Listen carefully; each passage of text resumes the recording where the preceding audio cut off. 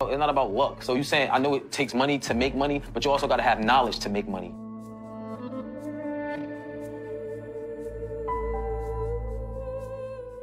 Hey guys, today we're going to learn how in MQL you can set trading periods so your trading only happens between a certain hour in the morning until a certain hour in the evening and outside of those trading hours your EA doesn't work. So, and you will be able to ask your user to provide a value which is at what time do they want to start the trading and at what time do they want to end the trading and then when you will run your EA on on the server it will only open up trades during the time that you have specified and outside of that time it will remain inactive. So let's get to it.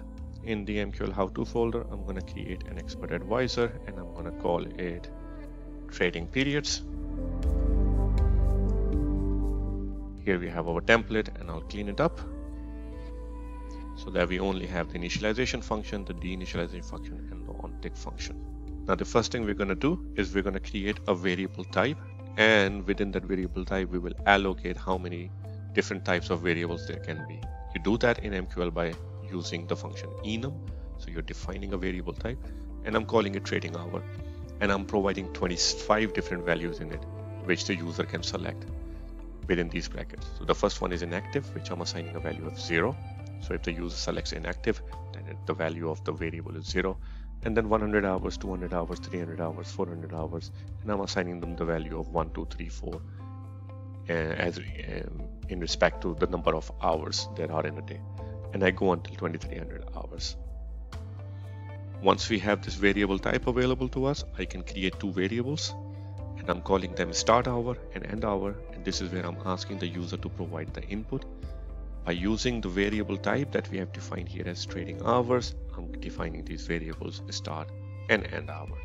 Now if I compile it and go to MetaTrader, I will see that the input tabs, these two variables have, have appeared and now the user can define they want it from 700 hours in the morning until 800, uh, 2000 hours in the evening.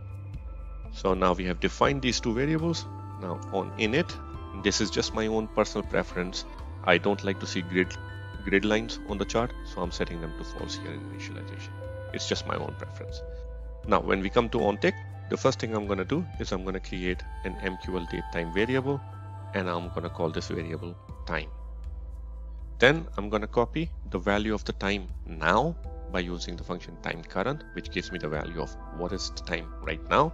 And I'm copying that into the variable time that I've created here using the function time to structure and this basically gives me the ability to then go by and, and then go and create a variable which I'm going to call hour now.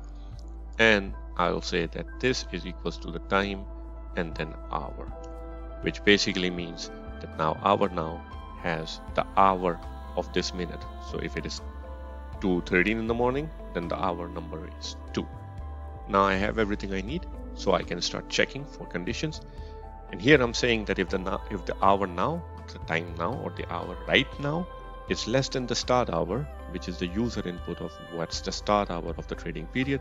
If it is less than that, then it's before the trading period, so return, meaning exit the function. Don't do anything else, just exit. Then if if the hour is not less than the start hour, which means it's bigger than the start hour, so the system will continue. And then we say if the hour now is more than or equals to the end hour, meaning the trading period has finished, then do exactly the same thing, which is return. Exit the function, don't do anything else. So any code here are going to be run only if the if the hour right now is in between the start hour and end hour, which is the trading period that we have defined. So this is the entire coding process. Whatever you will write here, and this is where your code will go. So it, these codes will be run only during the trading period that the user has defined here. Now, as an example, what I can say is that if it is during the trading period defined by the user, so it's not outside, so it's not less than the start hour and it's bigger than it's not bigger than the end hour, it's in between, then what what I want the system to do is change the, the color of the background to black and then display a text uh, saying trading is enabled. Now I'm creating a function here. I'm calling a function here. So I need to create this function as well. Guys, this is just to show you an example of what can go here. So what I'm saying is if it is in the trading period, then set the background to black and then display a text by sending the value color white to this function and trading enabled to this function. And this function I'm creating uh, using object create a label and then giving it the value of the text that I'm sending from here to here. So when this function will be called in the trading period, it will say it will say in white color that the trading is enabled. Then to contrast it, what I can do is I can come here and I can go, well, if it is less than the start hour, meaning it's outside of the trading period, then I want the color to be white, the background color, and I want in red to say trading is disabled. And this I can then copy paste here as well, which is if the hour is less than the start hour, or if it's bigger than the end hour, meaning it's outside of our trading period, then set the color of the background to white and say in red color that the trading is disabled. And if it is inside the trading period defined by the user, then set the color to black for the background and say in white color that the trading is enabled. Let's compile it. We don't have any errors. So now if I go to MetaTrader and start uh, and select a start period and an end period and run, then I should see, well, now the trading is disabled. After our uh, trading period started, it is enabled. The color of the background has changed to black. And once we exit, it goes back to trading is disabled and it's white.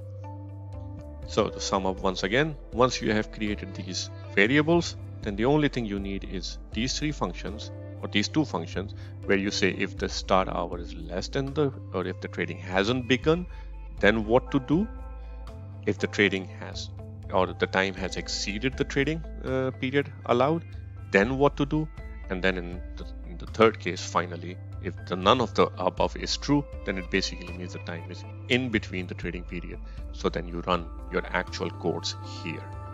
So I hope this helps. Uh, let me know in the comments if something is unclear. I'll make a separate video on explaining this displaying text, but this was just to show you an example of how this can all work. So until next time, guys, stay safe, trade safe, leave a comment, hit subscribe, press the bell notification so that you don't miss anything and I'll be coming back with more videos. Ciao.